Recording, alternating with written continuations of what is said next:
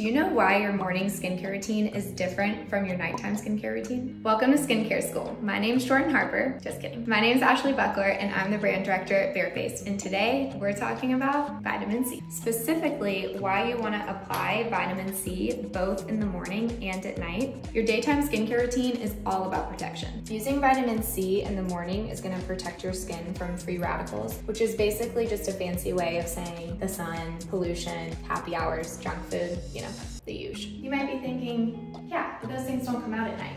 True, but your daytime skincare routine is all about protecting the skin, whereas your nighttime skincare routine is all about repairing it. All day long, while your vitamin C was hard at work protecting the skin, your reservoirs were being depleted, whatever that means. I'm not Jordan Harper.